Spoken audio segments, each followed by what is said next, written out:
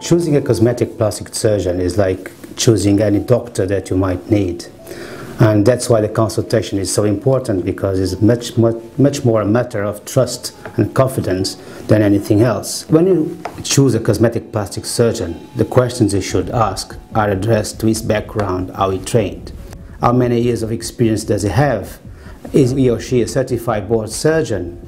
And uh, for how long? And also, if regarding a particular procedure, if he has experience with it or not.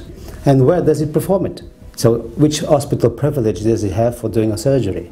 These are for me the most important things besides trust. But if you are considering a cosmetic procedure, during the consultation you should address and you should ask several questions considering that particular procedure.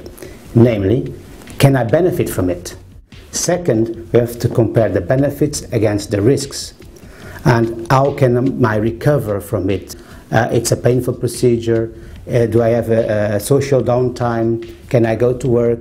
In my consultations, I took time to answer to all the questions of the patient because for me, that is the only way of building trust and it's the only way of getting you well informed so can have, you can have a decision. Now, discussing the risks of surgery during the consultation for me is the purpose of the consultation. We're discussing big benefits with a very low risk and you want to keep the risk low as much as you can.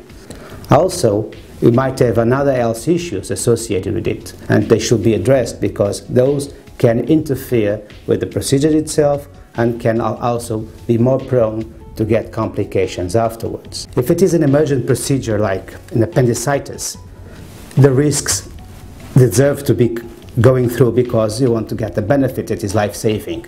When we're talking, talking about cosmetics, we're not talking about life-saving procedures, but just talking about improvement and a major improvement with a very low risk. That's what we want. So that's for me, that's the importance of discussing it. That's why the consultations should be addressed on the risks. And if by any chance the doctor doesn't talk about it, bring the subject into the table.